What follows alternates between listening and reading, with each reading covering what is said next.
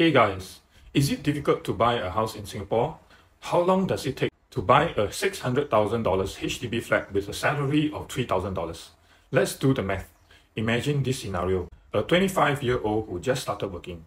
How long to save before he can afford to buy a house? As a Singaporean, 20% of his CPF will be deducted from his salary every month and at the same time the company will contribute an additional 17% into his CPF account.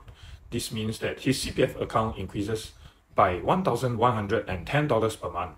The CPF contribution is split into three different accounts. The ordinary account, the special account, and the MediSave account. Ordinary account gets 62.17% of the amount contributed, so his OA gets $1,100 times 62.17%, which is approximately $690.09. For a $600,000 HDB flat, down payment is 20%, which is $120,000. To calculate the time required, the total number of months required equals $120,000 divided by $690.09 equals 173.87 months.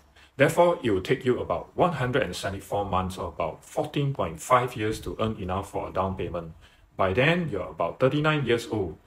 If you buy it with a partner who also earns $3,000, the time will be halved, taking 7.25 years, so you can do it around 32 years old.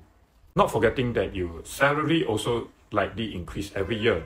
And also HDB gives out grants to help young buyers so you can fulfill your dream of owning your home even earlier. Hope you learned something and see you in the next video.